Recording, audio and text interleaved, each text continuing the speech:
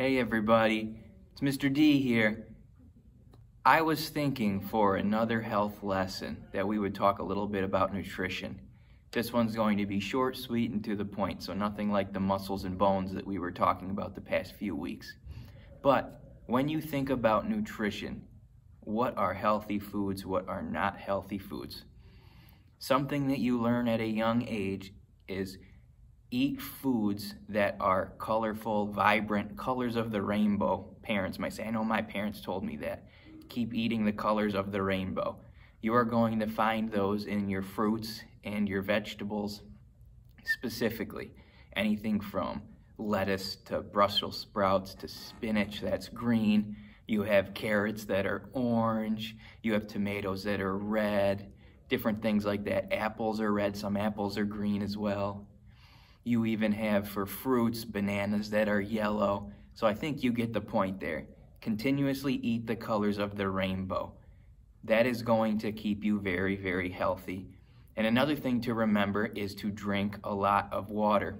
Now, I'm not saying to completely cut out all your sugary drinks, your sodas and your iced teas and your lemonades and different things like that, because those are fine.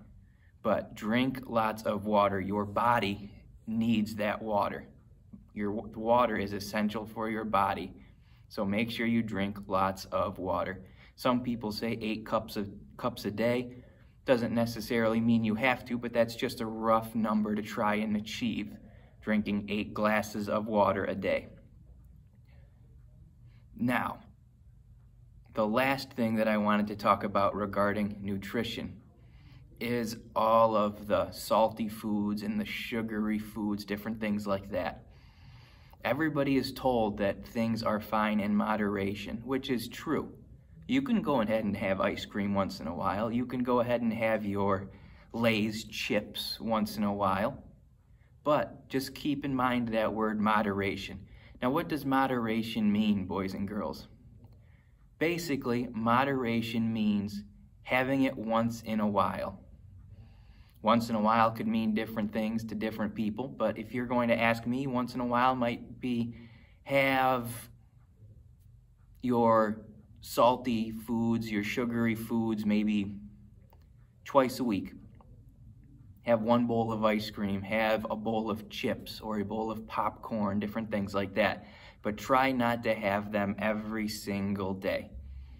Moderation means once in a while. Keep that in mind. As always, we're talking about health. This is health class. We're talking about nutrition. Make sure you wash all your fruits and vegetables before you eat them. There's another tip. I hope everybody has a great week and remember, keep washing those hands 20 seconds at a time. Sing happy birthday a couple times, whatever you need to do, but keep washing those hands. Keep staying safe and healthy. Take care. Bye, Huskies.